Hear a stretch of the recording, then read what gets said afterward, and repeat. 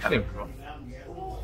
This is HP ProBook 640 G3 model and the keyboard button all of them doesn't work so we're going to replace it. But the original keyboard doesn't have any track point on the center plus it doesn't have the backlight. Okay, that the replacement that I got does have the track point plus the backlight. Okay, so you're going to replace it today. Let's do it together.